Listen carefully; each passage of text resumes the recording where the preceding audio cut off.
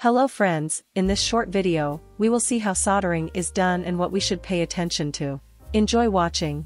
DDR, double data rate memory modules are types of RAM, random access memory, used in computer systems and they significantly impact a computer's performance. Different generations of DDR from DDR1 to DDR5 have important differences in terms of speed, bandwidth, power consumption, and technological advancements. Here are the key differences among these DDR generations. DDR1, the first generation of DDR memory, released in the year 2000, has a maximum bandwidth of 2.5 gigabytes per second. High power consumption at 2.5 V. Uses 184-pin DIMM modules. DDR2, replaced DDR1, released in 2003, provides a maximum bandwidth of 5 gigabytes per second. More energy efficient with lower power consumption, 1.8 V. Uses 240-pin DIMM modules. DDR3, released in 2007, offers a maximum bandwidth of 12.8 GB per second. Features lower power consumption 1.5V. Uses 240-pin DIMM modules. Offers higher bandwidth with double data rate technology. DDR4, released in 2014, boasts a maximum bandwidth of 25.6 GB per second. More energy efficient with lower power consumption 1.2V. Uses 288-pin DIMM modules provides higher capacity and performance. DDR5, released in 2020, delivers a maximum bandwidth of 51.2 GB per second, higher in some models. Highly energy efficient at 1.1 V, uses 288-pin DIMM modules, incorporates innovative technologies for faster data transfer. In general, each new DDR generation offers higher bandwidth, lower power consumption, and faster data transfer rates compared to the previous generation. As a result, newer DDR generations typically provide better performance but require a compatible motherboard and CPU. Therefore, it's important to